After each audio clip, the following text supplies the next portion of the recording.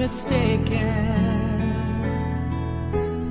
God is too good to be unkind.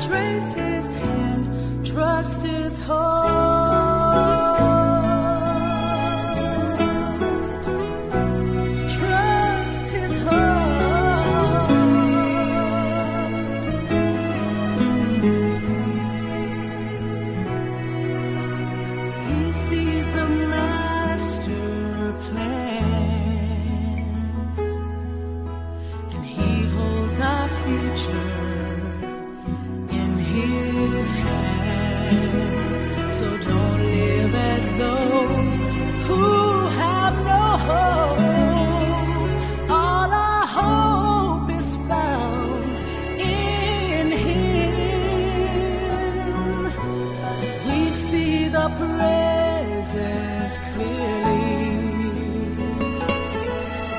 but he sees the first.